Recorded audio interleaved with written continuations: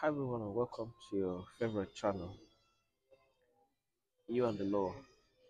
Law can be discussed anywhere and everywhere, and in fact, that's the essence of um, having this channel on, so that wherever we are, we can discuss law as much as we can for the understanding of everybody. I'm in a restaurant somewhere. I just uh, came to take my breakfast in a restaurant somewhere, and um, I feel we should also do a bit of law, even in the restaurant. Mm, Merry Christmas to all of you. I do hope you're do you're good, you're doing fine wherever you are, and I hope you're preparing yourself for the feast of the Christmas. So coming to the restaurant like this, a number of legal issues, a lot of um, legal questions um, come to my mind. What's the legal obligation and responsibility of the owner of this restaurant? What's what are the requirements of law? What does the law require of the owner of this um, restaurant and every other place of eating where you open to members of the public to come and eat? What are the legal responsibilities, you know, of the person that opens a place like this for others to come in and eat? The first is the duty of care.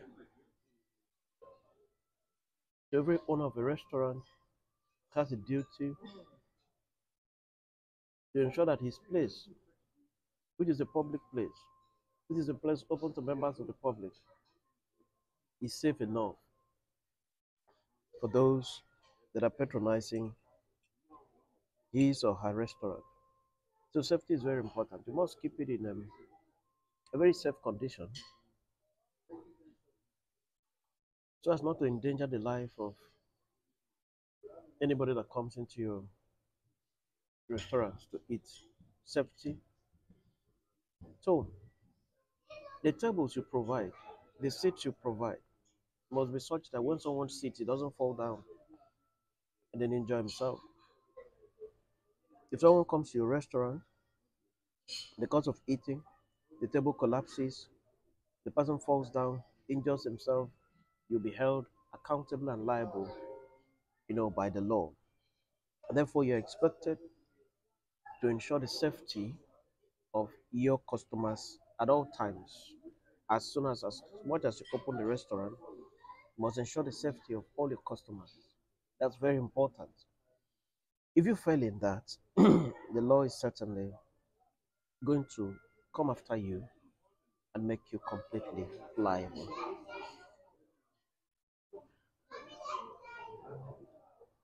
There is the second responsibility of the owner of a restaurant. There's a second responsibility. And that second responsibility is the responsibility to ensure that what you are serving to members of the public is something that is safe for human consumption. So you don't carry an expired product and sell to members of the public.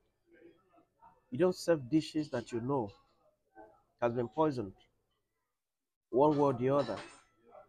You don't serve dishes that will injure, you know, the the persons that are eating, whether immediately or thereafter. So you owe a duty to ensure that the food served in your restaurant is food that is good for human consumption.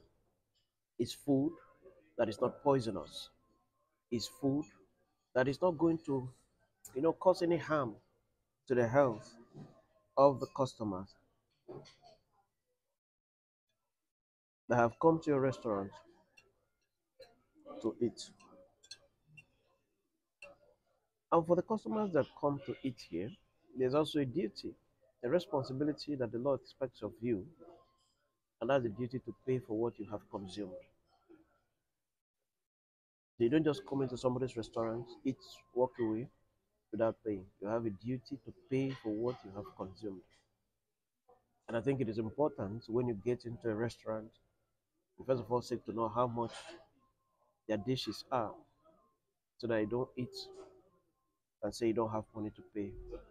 Every citizen that walks into someone's um, place of business, restaurant, has a responsibility to pay for what he or she consumes and not to just sit down, eat, and then walk away. Many thanks. It's always my pleasure to discuss law with you. I discuss law everywhere. Every place has issues of law to discuss about. So I discuss law everywhere. And the whole essence is to ensure that um, everybody has at least an understanding of what the law says. So that together we can have a better country to live in. So that together we can have um, neighbors who are happy. We're happy with them. When everything is done in accordance with the rule of law, then society certainly be a better place to live. That's the science of this edition of You and the Law. I do hope you have learned one or two things. Together we'll continue to enjoy the festive season and beyond. Many times, Click to the like button so that together we can continue to enjoy um, You and the Law.